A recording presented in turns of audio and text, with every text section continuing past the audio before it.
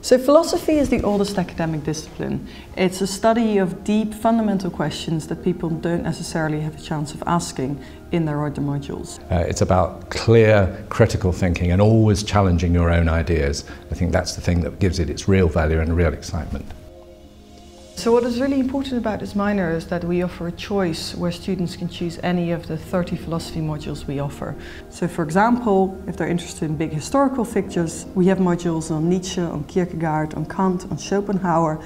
But if they're much more interested in the sciences or in more modern topics, we have modules on applied ethics, on philosophy of sex, on feminism, on gender.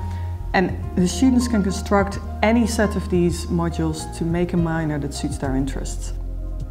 I think it's well recognised uh, by many employers that philosophy gives you skills that can be transferred to any kind of problem solving or presenting of your ideas in a clear way.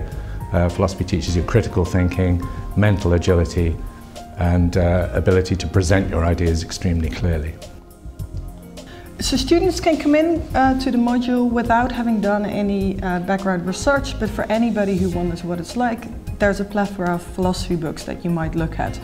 I think the most important thing before doing a philosophy minor is really not to prepare any specific uh, research or ideas, but to come with an open mind and be prepared to be challenged and surprised by uh, a lot of different questions that you've never really asked in other disciplines.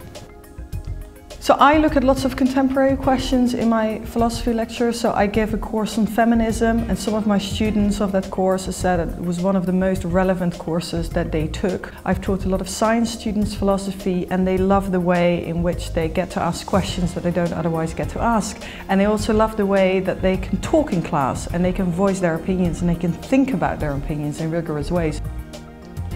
A philosophy minor I think goes with pretty much every degree that the university offers. If you're a scientist you can reflect more on the questions of what makes something scientific knowledge. If you're doing literature we've got a course uh, on aesthetics, uh, aesthetic value, puzzles about art and literature. History of philosophy can complement indeed any discipline whatsoever so I think it goes with pretty much every major program we have. What I love about philosophy is that it really allows you to probe questions in depth in a way that you can't otherwise do. You can think of philosophy um, as a contribution to your development as a person, your general education. You'll acquire an ability to be more reflective and to think clearly uh, about really anything that comes your way. I think the most important reason is just that it is fun. People come to philosophy and they find it incredibly fun to be challenged in a way that they haven't been challenged before.